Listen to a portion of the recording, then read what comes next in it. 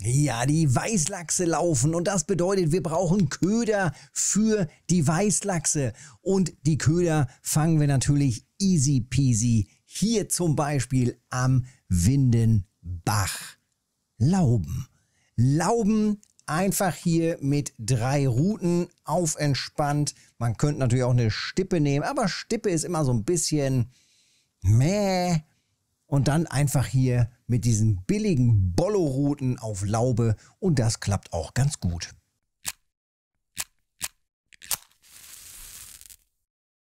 Also, es ist morgens, es ist schon 6 Uhr durch und ich habe auch schon die ersten Lauben gefangen hier und die nächsten gehen, glaube ich, gerade hier unter. Na, zögerlich, mal mehr, mal weniger. Aber die ersten Brocken sind auch schon da. Die ersten Lauben gehen auch schon rein. Ganz locker ausgeworfen hier. Was sind das? Ungefähr 6, 7 Meter. Mehr ist das nicht. Auf den billigsten Bollo-Routen im Game. Sollte eigentlich auch jeder kennen. Ist ja auch schon mehrfach erwähnt worden. Auch in den ganzen Tutorials. Immer wieder für die Laube. Super easy, super gut und ganz entspannt zu fangen damit. Und da geht schon wieder was rein, beziehungsweise die geht, glaube ich, schon wieder hoch, die Pose. Da gucken wir mal, ob die vielleicht nochmal wieder runter geht. Lieber nochmal ein bisschen warten, ob der Fisch dann nochmal zubbelt. Ja, und äh, von den Größen her ist es auch gerade ganz gut. Guck, da zubbelt es auch wieder. Da ist die Laube noch, aber die ist als erstes hier auf der 3. Und dann nehmen wir die doch als erstes hier. Zack, die nächste Laube und zack, da ist direkt die nächste auf der Mitte. Jawohl, die hat auch wieder ein gutes Gewicht. Also 40 Gramm ist es so. Wir gucken gleich nochmal kurz rein in die Köderfischgrößen. Ähm, denn wir brauchen ja fürs Weißlachsangeln Köderfische ab 41 Gramm. 41 Gramm. 41 Gramm. Ähm, nee, Moment. Doch, ab 40 Gramm. Ab 40 Gramm bis 70 Gramm. Siehste, das ist doch gut. Also 40 Gramm bis 70 Gramm. Und so sieht es aus. 1, 2, 3, 4, 5, 6 Köderfische und 1, 2, 3, 4, 5, 6, 7 kann das? Ne, 8 Fische. Also von 8 Fischen 6 Köderfische. Super, perfekt. So soll das sein. Zwischendurch noch eine Trophy. Klar, noch so eine Trophy nimmt man auch gerne mit. Ah je, jetzt sind sie hier alle, alle abgesackt. Geht da noch was? Da ist auch noch was dran. Eieiei. Also, die nehmen wir natürlich schnell eben alle mit. Alles, was maßig ist, am besten alles mitnehmen. Alles, was unmaßig ist, kann man auch eigentlich direkt wieder wegschmeißen. Wobei, ich heb die mal auf. Es gibt auch immer mal wieder Kaffeeaufträge hier am Windenbach für Laube, auch für Unmaßige. Deswegen nehmen wir die einfach mal mit. Im Großen und Ganzen, wenn du dir jetzt denkst, ja wie denn, was denn jetzt, Köderfisch, Laube, ich bin noch gar nicht, also so weit will ich, also Weißlachsangeln ist noch gar nicht mein Ding. Ja, gar nicht schlimm, einfach Laubenangeln. Äh, XP sind richtig gut, Silber ist richtig gut, also es lohnt sich auf Laube zu angeln, wenn man ja, einfach nur kleine Fische fangen will. Und wenn man jetzt nicht irgendwie ein großartiges ähm, besonderes Setup hat, ähm, kann man eben auch hier einfach mit der Anfängerstippe sich hinstellen und ganz normal eben hier auf Laube stippen. Von der Position her, die erfahrenen Spieler haben es bestimmt schon direkt erkannt. Wir sind hier am Windenbach, einmal kurz hier über die Brücke rüber und dann hoch an den Tümpel, an den Seitenarm. Ähm, ja, das ist quasi kurz ja, oder fast das Ende vom Seitenarm. Da wollen wir hin. Und da lübt das immer ganz gut. Ähm, direkt hier in Richtung von dem 2 Meter Loch und dann von der Entfernung so ungefähr 6, 7 Meter weit rauswerfen. Ich habe noch gar nicht geguckt, wie ich die Tiefe eingestellt habe. Ich hoffe, das passt. Habe ich das richtig eingestellt? Nein, habe ich nicht. Aber es hat auch schon funktioniert. 18 cm ist klassisch, also ganz flach unter der Oberfläche sollte mit am besten funktionieren. Die waren jetzt hier tatsächlich alle auf 80 cm. Hat auch funktioniert. Na guck. 80 cm ungefähr. Jetzt stellen wir hier aber auf 18, also knapp unter der Oberfläche. Und dann gucken wir mal, ob wir da vielleicht sogar noch eine bessere Frequenz hinbekommen. Und auch hier wieder ganz knapp unter der Oberfläche.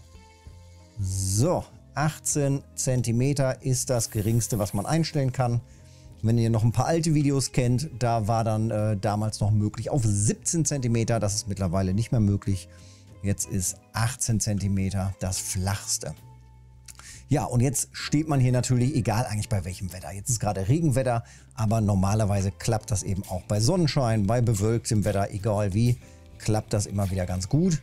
Ja, hier sieht man gerade den Vorteil von den, von den, von den kleinen Bollos. Komm ran hier.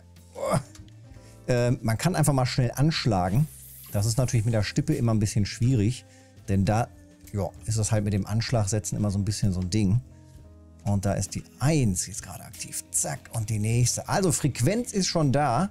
Läuft. Und die Frequenz geht auch tatsächlich nach oben jetzt. Und auf der 3 geht es weiter. Ja, jetzt geht es halt richtig ab hier. Also läuft richtig gut. Größe auch richtig gut. Das sind genau die Lauben, die man haben will, wenn man auf Weißlachs angelt. Und da zuppelt es direkt weiter hier in der Mitte so, und weiter geht's. Übrigens, wenn ihr Bock habt, hier gehen natürlich auch, na gut, die wollen wir hier nicht. Hier gehen auch die Frösche, ne? Einfach hier vorne hinwerfen. Zack, auf Frosch. Geht auch. Aber Frosch, ja, lohnt sich vielleicht eher als äh, Köderfisch oder als Ködertier, als, ähm, als Köder sozusagen, beziehungsweise als Fisch oder Tier zum Beangeln, um damit Silber zu machen, lohnt es sich nicht. Das äh, macht nicht wirklich viel Sinn. Also dafür dann die teuren Fliegen zu verangeln, macht keinen Sinn. Sollten die Fliegen an dem Gewässer ausverkauft sein, dann gibt es ganz viele andere Köder für Laube. Das heißt, ich kann auch hier mal direkt wechseln. Also, einer der billigsten Köder für Laube ist Perlgraupenbrei. Perlgraupenbrei raus damit und gib ihm. Also genauso gut wie quasi die teure Fliege funktioniert. Ähm, ja, muss man halt bloß machen und dranhängen. Nächstes Ding. Zuckmückenlarve kann man machen. Man hat aber immer mal wieder Barsche dabei. Bremse. Häufig sind die Fliegen ausverkauft und die Bremsen sind nicht ausverkauft. Also Bremsen kaufen. Kann man natürlich auch machen. Was hatten wir zuletzt noch? Ähm, ich glaube sogar Haferbrei und sowas ging auch. Ne? Wurden da nicht sogar Trophies und Super Trophies gefangen? Irgendwas hatte ich doch da noch im, in Erinnerung. Hier war schon was dran. Da müssen wir direkt nochmal wieder auswerfen. Also, es gehen viele verschiedene Köder. Von daher keine Ausrede, wenn ihr sagt, ah, es gibt keine Lauben, äh, ich habe keine Lauben, ich habe keine Fliegen, ich kann nicht. Nö, einfach mal hinstellen, machen, testen hier. Zack, da war gerade auf der Bremse der Biss. Es gehen ganz, ganz, ganz viele verschiedene Köder mit der Laube und mit diesem Fisch kann man richtig gut Cash machen. Ich bin jetzt 10 Minuten hier, ich habe bald 20 Fischis zusammen und das noch nicht mal mit dauerhoher Frequenz, sondern anfangs war das ja noch mit ein bisschen geringerer Frequenz. Also da würde noch deutlich mehr gehen und wenn man sich so ein bisschen mehr darauf konzentriert, geht da auch noch mehr ähm, als jetzt eben hier die äh, 20 Fischis. Oh, kriegen wir den noch? Ne, kriegen wir nicht mehr. So, den hier werfen wir jetzt wieder raus. Und dann gucken wir, was da geht. Wenn man natürlich jetzt hier von der Fliege weg ist, hat man natürlich auch immer mal wieder andere Fische dran. Das passiert natürlich regelmäßig. Aber im Großen und Ganzen passt das so. Äh, vom Setup haben wir wahrscheinlich gerade oder habt ihr wahrscheinlich schon gerade gesehen. Ich hatte es ja gerade schon eingeblendet. Wir gucken gerade noch mal eben hier. Das Setup ist dieses. Also, das sind die ganz, ganz, ganz billigen Bollos. Die liegen so, also ich sag mal, das gesamte Setup, das teuerste am Setup ist die Schnur gerade. Das gesamte Setup liegt wohl so ungefähr bei, ich glaube, um die 60. Die Route, die Rolle liegt bei 10 Silber, 70 und die Schnur liegt, glaube ich, bei 30 oder 40 Silber. Also die Schnur ist, glaube ich, mit so das, das teuerste fast. Oder liegt die bei 70 sogar, die Schnur? Ich weiß es nicht. Ähm, ist ab ist aber auch nicht notwendig. Ne? Man kann natürlich auch mit einer anderen Monoschnur hier reingehen, aber das ist schon eine sehr, sehr geile Schnur. Das ist die Snake Invisible Monoschnur. Also eine sehr, sehr durchsichtige, transparente Monoschnur, die halt hervorragend ist während ihren, wegen ihrer Eigenschaften. Also zum einen transparent und zum anderen ein hoher Dehnungseffekt damit bei. Das heißt, wenn große Fische reingehen, auch auf diesem kleinen Setup von nur drei ja, knapp drei oder über knapp über drei Kilo, dann hat man hier eine richtig schön hohe Dehnung nochmal drauf. Das heißt, man macht die Fische zusätzlich nochmal schön müde damit und hat den Drill leichter. Von der Größe des Hakens, 20er Haken, ist für Köderfische richtig, richtig gut. Ähm, ihr habt es gesehen hier bei der Größe der Fische, die hier dran gegangen sind oder die ich schon im Kescher habe. Das funktioniert damit super gut. Ähm, von der Anzahl der Frequenz, also die Frequenz ist zum einen gut und eben die Anzahl der Fische, die eben genau das richtige Maß haben für das Köderfischangeln oder fürs Verarbeiten zum Köderfisch. Wo ist er denn hier hingegangen? Ey?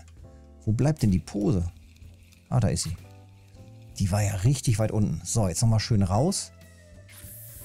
Und dann haben wir, glaube ich, alles. Ne? Wir haben den Spot, wir haben das Setup, wir haben die verschiedensten Köder. So, zack. Nächste Laube hier, auch auf, äh, was ist das? Genau, der Haferbrei geht auch. Ähm, Bremse, wie gesagt, hat auch gerade schon geliefert. Perlgraupe liefert auch. Und das ist, halt, ist ja jetzt hier einer von mehreren Spots am Windenbach, die immer wieder funktionieren, aber eben auch ein sehr bequemer Spot. Denn bei den anderen hier hinten zum Beispiel am Laubenbaum, hier ist so ein, so ein Baum, der so ein bisschen über dem Wasser steht, da gehen auch mal wieder die Lauben. Aber da ist es so, dass äh, du da die ganze Zeit Strömung hast. Also mit einer Stippe kann man das machen, warum auch nicht. Aber, und da haben wir den nächsten Brocken, Perlgraupenbrei, die nächste Laube. Ähm, aber für entspannt ist es natürlich deutlich angenehmer, wenn man die jetzt einfach so rausziehen kann und dann hat man die, die, die drei Routen direkt nebeneinander liegen. So, ich renne mal kurz zurück und wir gucken uns noch mal schnell an, was denn die Laube an sich so bringt. Neben den hervorragenden XP, also es lohnt sich absolut im Low- und Mid-Level-Bereich und selbst mit Level 20 plus lohnt es sich noch auf Laube zu angeln. Ähm, gerade wenn man hier eben auf hohe Frequenz ist, ratzfatz einfach mal eben eine Laubensession einlegen für die Abwechslung. Jetzt gucken wir gerade mal eben rein. Gibt es Kaffeeaufträge? Äh, tatsächlich. 5, ach guck, genau das, wie vorhin schon gesagt, die unmaßigen 5 Stück, zack, bringen jetzt hier 20 Silber. Diese 5, diese 5 würden normalerweise, vergleichen wir es nochmal eben, nach äh, Gewicht sortieren. Diese 5 bringen normalerweise 0, also nicht mal ein Silber, 0,15 Silber und jetzt im Café bringen diese Lauben einfach mal 20, 19,92 Silber, also knapp 20 Silber. Tipptopp. Verkauft natürlich. Perfekt. So, irgendwas Kleines. Ähm, ja, Kaulbarsch könnte auch reingehen. Äh, Güster, kleine Giebel gehen da bestimmt auch zwischendurch mal rein, je nachdem, welche Köder ihr da verwendet. Also durchaus möglich, wenn ihr euch da den Kescher voll macht. Und ansonsten gucken wir mal eben nach dem Preis. Solche Trophies gehen auch regelmäßig rein. Mal eben 30 Silber nochmal auf den Kopf. Und in Gänze, ja, 18 Lauben jetzt noch dabei, 66 Silber, 80 Silber jetzt. Von der Fangzeit war ich jetzt hier knappe 15 Minuten unterwegs. 80 Silber mit Low Budget Setup. Also kann man machen, Kratsching, weg damit. Ich gehe nicht auf Weißlachs angeln, ich hatte die, die ganzen Dinger schon easy peasy. Und jetzt werfen wir noch mal ganz kurz einen Blick rein. Stationärrolle, das ist die billigste. Wir nehmen die 3000er, ähm, kostet 9,2 Silber. Dann gucken wir noch mal eben auf die Bollo-Route. Auch hier die billigste und die kürzeste. Wir brauchen nicht die langen hier, sondern wir nehmen die ganz billigen, die kurzen. Da kommt es auch nur, wie gesagt, auf die Länge hier gerade an. Und da wir ja eh nicht weit auswerfen für sowas, reichen die kurzen. Also ähm, ja, knapp 89, äh, 59 Silber. Das ist halt diese Route, die ich hier immer verwende. Sensationell. Ähm, und dann haben wir jetzt noch die Schnur. Da sind wir jetzt also zusammen bei 59 und 9 sind 68. Ich glaube, das passt, ne? Ich glaube, das passt. Gerade noch überlegt, aber ja, ist es mitten in der Nacht, wird langsam Zeit. Ähm, und jetzt haben wir noch die Schnur. Äh, da ist sie, Mono und dann brauchen wir hier die, nicht die Heavy Line, wir brauchen die Invisible, Ultraline, hier ist sie, Invisible und dann auch die Nicht die ganz dünne, die ist auch nicht schlecht, aber wir brauchen die vom Setup her. Ich glaube, die mit 5,5. Ne, mit, äh, die hier ist es, ne?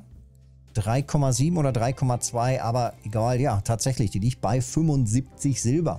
Muss man nicht machen, kann man sich gönnen, man kann aber auch genauso anfangen mit der ganz billigen hier für 4 Silber, wenn man damit dann startet. Natürlich passend zum Wurfgewicht, ähm, das heißt, dass man da eben die Bolognese guckt, hier, wir haben hier äh, 3,8 Kilo maximale Tragfähigkeit und dementsprechend schnappen wir uns dann die Monoschnur und nehmen dann hier die zum Beispiel mit 3,1. Das reicht dann auch komplett, kostet 4 Silber und ab dafür. Also, so easy und so leicht auf die ganz kleinen Fische. Und der Riesenvorteil ist, weil wir von diesen ganz kleinen Fischen sehr schnell die Maximalgröße bis hin zur Trophy fangen, verdient man damit sehr viel Geld und sehr viel Silber. Das ist der Riesenvorteil, wie auch schon in den ganzen Tutorials erklärt. Ich verlinke nochmal die gesamte Playlist zu den Tutorials, da einfach mal reingucken, wenn du gerade am Anfang bist vom Game und dann lübt das auch mit dem Game. Und wenn du Bock hast auf Weißlachs und dir noch ein paar Köder fehlen, da lübt das Ganze auch richtig gut. Petri Lümmels, wenn es geholfen hat, Daumen da lassen, Kanal abonnieren hilft mir. Und dann sehen wir uns im nächsten Video oder im Livestream auf Twitch und gleichzeitig auf YouTube. Montags, Mittwochs und Freitags immer ab 19 Uhr. Petri.